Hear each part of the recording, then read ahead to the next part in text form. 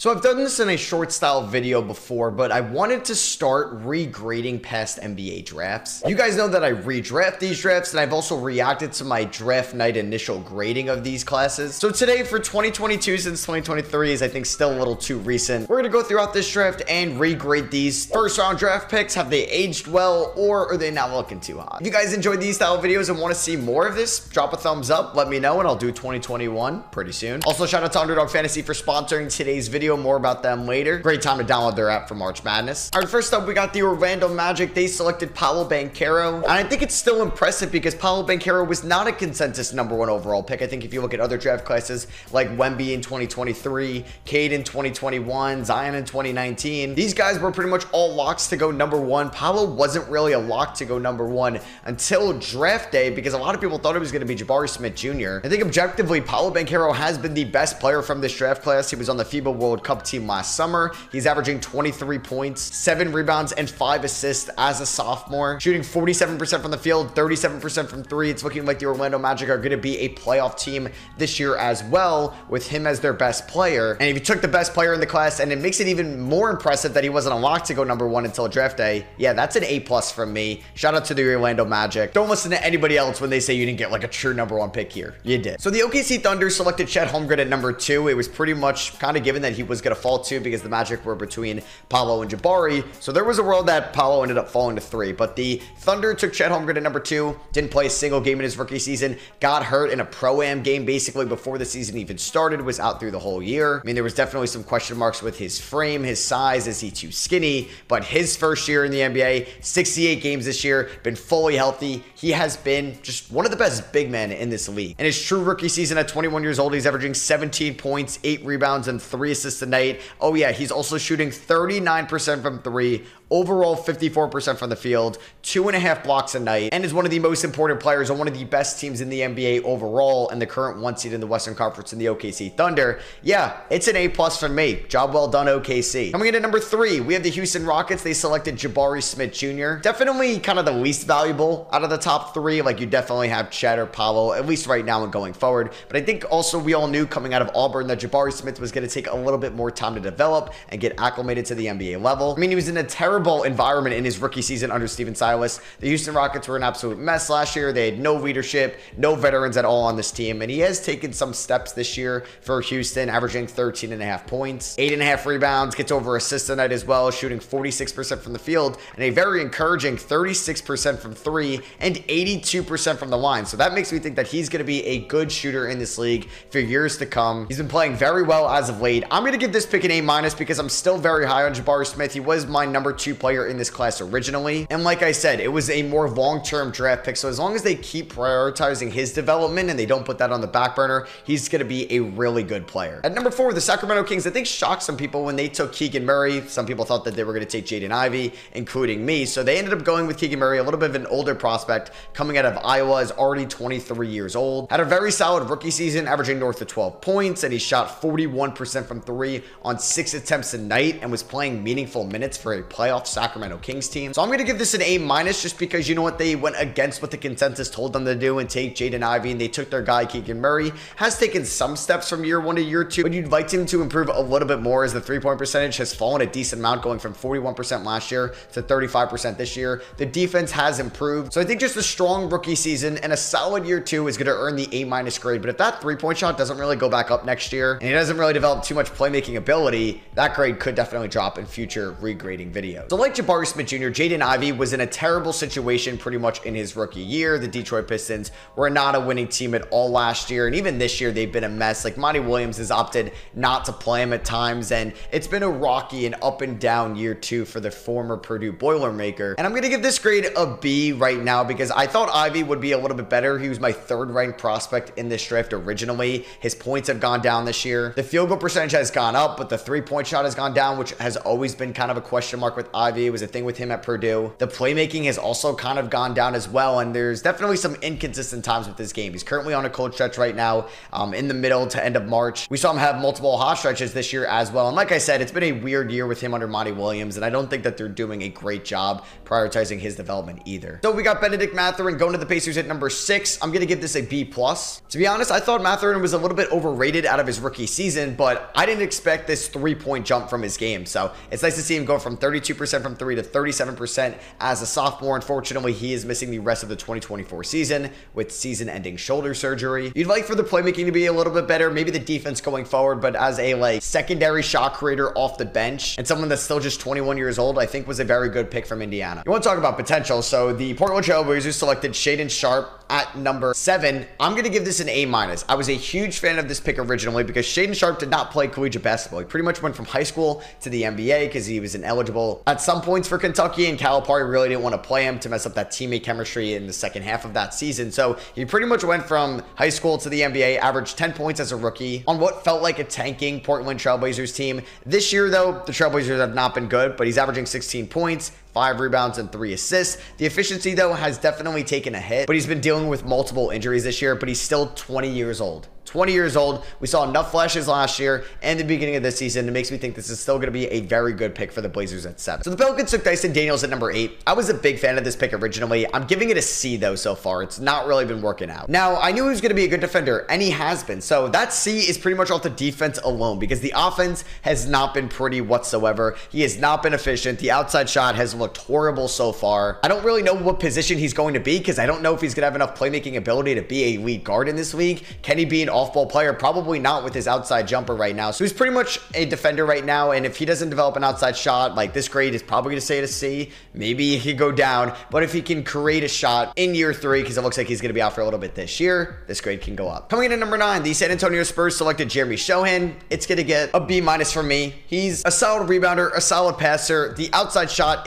isn't great. You know, and his free throw percentage has improved, which is good to see, but the shot does not look good right now. He has the hitch in his game that I hope he can continue to work on. I mean, I don't think Pop did him any service trying to play him at point guard this year because that did not go all too well. I think the defense potential is still there, but I think we have seen some improvements from his jumper from year one to year two. So I'm going to give it a B minus. This could be a little bit harsh. It could be conservative. You can let me know. So coming in at number 10, we have a good old fashioned, possibly B word. It's going to be Johnny Davis who went to the Wizards. It's crazy. Like Johnny Davis is still getting some playing time because the Wizards made a lot of trades this year and have had a lot of injured players. And you know what he's doing in that playing time? Two and a half points, one and a half rebounds, shooting 34% from the field and 23% from three. The defense isn't there. He's already 22 years old. His numbers have gone down across the board from last year. I did not see this at Wisconsin. I thought it would be a fine player. I thought it was a fine pick.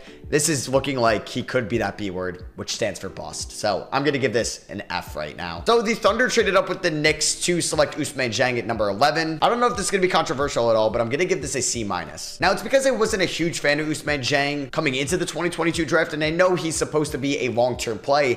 I just don't know if he's ever going to develop on this OKC Thunder team and what other team will take the chance on him because this Thunder team is good right now. They're going to add some other draft picks in 2024 and in 2025. They may have some cap space, some roster flexibility to add some other guys in the offseason. So Dieng is only playing 11 minutes a night this year. I don't know how much it's going to go up next year and years forward. I actually think he could have somewhat of an outside jumper, and that's kind of holding this back from potentially being in that deep. But don't worry, OKC, you had back-to-back -back picks, and you selected Jalen Williams out of Santa Clara. I don't know if this was possible, but I'm giving this an A plus plus. Yeah, what a phenomenal pick, especially because a lot of people were like, who on draft name? Like, I knew a little bit about Jalen Williams, but I wasn't watching a ton of Santa Clara in that collegiate season. And they went out, they drafted an absolute stud with the 12th overall pick. Someone that's improved so much as a defender from year one to year two. Someone that's gone from 14 points a game as a rookie to 19 points per game as a sophomore. He finished second in rookie of the year voting last year. He's shooting 54% from the field, 44% from three,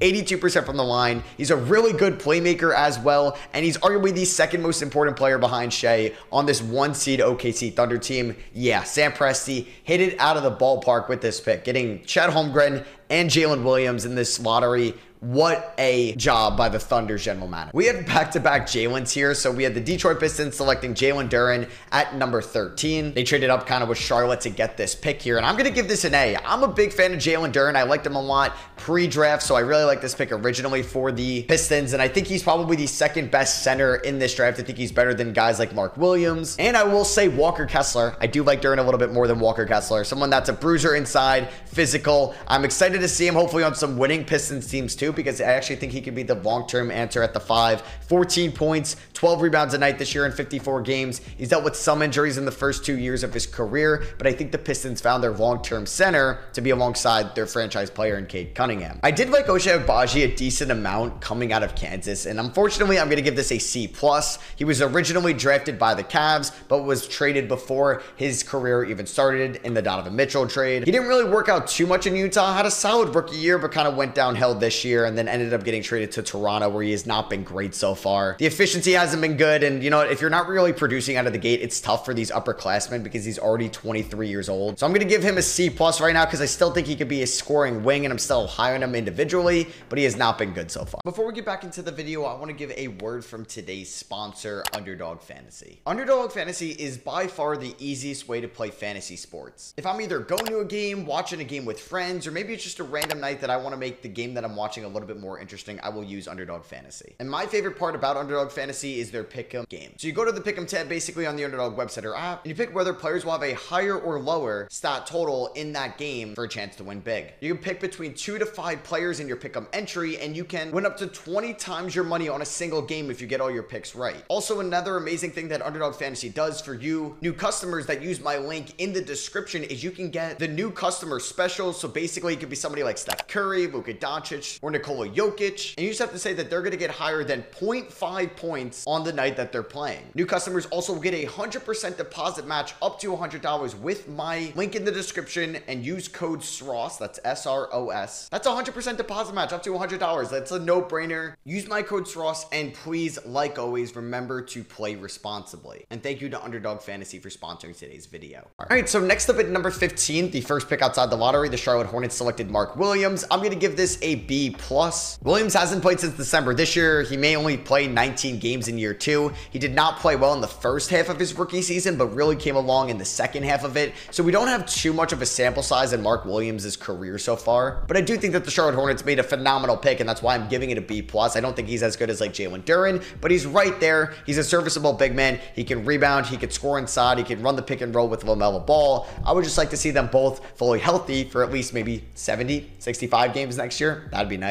At 16, Atlanta took AJ Griffin, man. What the hell happened to him? I love this pick out of Duke. He had a really good rookie season. He was super efficient 47% from the field, 39% from three, almost 90% from the line. I really saw some great 3 and D potential as a complementary piece to Trae Young going forward, but there's been some off the court stuff this year. He's dealt with a leg and ankle injury. He's really only appeared in 18 games, averaging 7 minutes a night, shooting 28% from the field and scoring 2 points a game. Yeah, what happened to AJ Griffin, man? Like that rookie season alone would have been an A for me, but now I got to drop it to a C plus, and I'm getting scared it's going to drop even more. The Rockets selected Tari Eason out of LSU at number 17. I'm going to give this a B plus. I was a big fan of Eason coming out of LSU, somebody that's a hustle player, high motor, can rebound, can run the floor, can be a good defender as well. He has dealt with injuries this year, which has been kind of like a model for a lot of these guys. So far in their careers, only playing 22 games this year, but he did play in all 82 games last year and look great in a dysfunctional Rockets team. So I'm excited to see him hopefully fully healthy next year in year two under Ime Udoka. So the Chicago Bulls selected Dalen Terry out of Arizona at 18. I wasn't a huge fan of this pick when it happened, so I'm going to give it a D plus because he hasn't really done much so far. He's 21 years old. He's averaging two and a half points for a fringe play-in tournament Bulls team, shooting 39% from the field and 24% from three. I don't know if he's ever going to be good enough on the defensive side of the floor to really be valuable as a rotational guy in this league going forward on a good team. I also don't think he's ever going to develop his outside jumper whatsoever. It doesn't look great. The track record doesn't show that it will. So yeah, I'm still not a fan of Dalen Terry. It's going to get a D plus from me. So at 19, Minnesota selected Jake LaRavia out of Wake Forest. I'm giving it a C minus. He was not great in his rookie season whatsoever. And even with all the injuries that the Grizzlies have had this year, he hasn't really taken too much of an opportunity with the much more expanded role. He's averaging eight points, three and a half rebounds. He's a fine free throw shooter, 35% from the field, 27% from three. Yeah, he may score in double figures, but he's not shooting the ball all that well. So I'm afraid he's not even going to be in the rotation next year or too much going forward. I'm giving it a C minus because there are some flashes, but it's not looking good for him. I loved when the Spurs took Malaki Branham originally. I really liked him a ton out of Ohio State. He's definitely not lived up to my expectations so far. I'm going to give it a C plus because I do think the offensive potential is there. He averaged around 10 points as a rookie, nine points this year as a sophomore, but the the three-point shot is getting better. 30% as a rookie,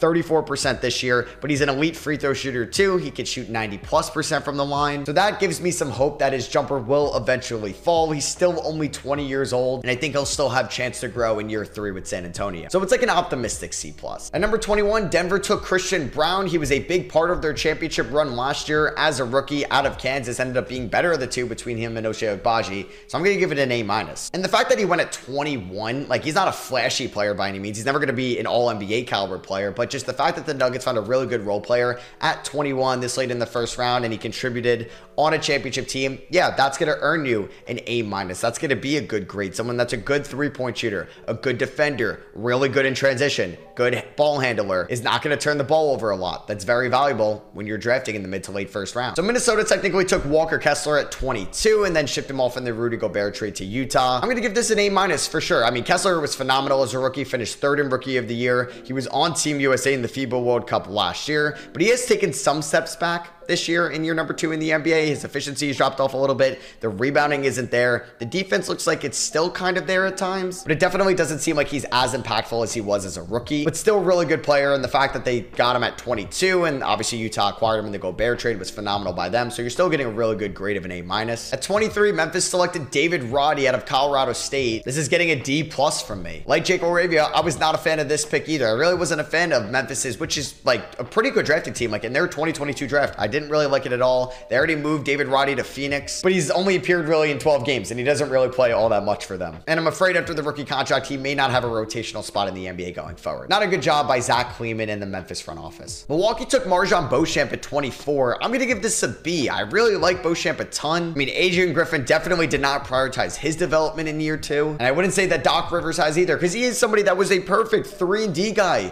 for this Bucks team to come off the bench. And I know he's a younger player to a more veteran roster, but still, they're kind of throwing his development prioritization out the window this year, which is a shame because I still think he's a good player. I think he could be a valuable 3D guy in the league one day. I like the Spurs later two first round picks more than Sochan. Like, I loved Blake Wesley too at pick number 25 out of Notre Dame. And he has shown some flashes in year number two, but on a relative scale to the rest of the first round picks that I'm grading here, I gotta give it a C minus. The three point shot has not been falling at all in year number two. I still think he has solid playmaking ability and he could be a backup point guard going forward, but he's definitely going to have to work on that outside jumper. So Minnesota ended up with two first round picks here. They originally got Walker Kessler at 22. Like I said, he was in the Rudy Gobert trade. And then they got Wendell Moore at 26. But yeah, it has not worked out whatsoever. So I may be harsh here, but I'm going to give it an F. And I liked Wendell Moore coming at a Duke too. I thought he could be like a crafty scorer off the bench for a really good team later in the first round. And that was a perfect destination with him in Minnesota. But the opportunity really hasn't been there for him. Last year, five minutes a night. This year, three minutes a night. He's appeared in the last couple of games for the Timberwolves because they've had a couple injuries going on right now. But if he's not really showing up in practice or workouts with the team, that doesn't really give me much encouragement that he's ever going to play for them in meaningful minutes. So yeah, it's an F. Somebody that was going to be a project long-term play was Nikola Jovic going to the Heat at 27. And Jovic has been really good so far in year number two as a 20-year-old. I mean, coming over from Europe to Miami has to be some transition for a 19-year-old, right? Like you're not going to be able to fit in right away. And he showed some flashes as a rookie, but you know, the Heat were a championship team last year. They went to the NBA Finals. It was going to be tough for him to crack rotation, but he's also been a very good three-point shooter for the Heat this year off the bench, and has provided them some valuable playing time as a 20-year-old guy in the second unit. So yeah, B plus for me. Good job, Miami. At 28, Golden State took Patrick Baldwin Jr. out of Milwaukee. He was later in like the Jordan Poole, Chris Paul trades. You would think as a 21-year-old in Washington, one of the worst teams, if not the worst team in the league this year, he would do something. Well, he really hasn't. 10 minutes a night, averaging three points per game, just kind of looks lost out there at times. And he was once a top high school prospect. I'm just gonna give up hope on him. I'm giving this an F. Somebody I also don't want to give up on yet was TyTy Washington. Uh, just like a Kentucky guard, I thought he was going to be really good. I thought he was going to be a fringe lottery pick. He went to Houston here at 29 and has not really done much in the league. He's currently on the Milwaukee Bucks, averaging less than a point per game in four minutes a night. And he's not going to play for Milwaukee. Who knows? He could still be good going forward. I'm going to give it an F though. And at 30, Denver surprised everybody when they took Peyton Watson. I was kind of shocked he went into this draft because he didn't do anything at UCLA the year prior. But it looks like the Nuggets did a very good job selecting him at 30, let him develop as a rookie, not really playing as much. But in year two, he's provided them some valuable playing time off the bench, seven points a night, three rebounds, good field goal percentage, can hustle, can rebound, can defend a little bit, and could be a rotational piece for Denver going forward. There was obviously some very good second round picks as well, like Andrew Nembhard, Caleb Houstan, Jalen Williams, Max Christie, Jaden Hardy, and Vince Williams. That makes some of those late first round picks that I gave Fs to, like Wendell Moore, Patrick Baldwin, and TyTy Washington, look a little bit worse when you could have gotten some of those guys on a four year rookie contract. So yeah, that's gonna be for me. I hope you guys did enjoy. Drop a thumbs up if you did. Let me know in the comments if you agree or disagree with any of these grades. And also let me know you guys want to see me do this with 2021 as well. And then we can keep going backwards. So yeah, thank you all for watching. I love you guys. Make sure you check out the podcast link in the description. I'll catch you guys in the next one. Peace.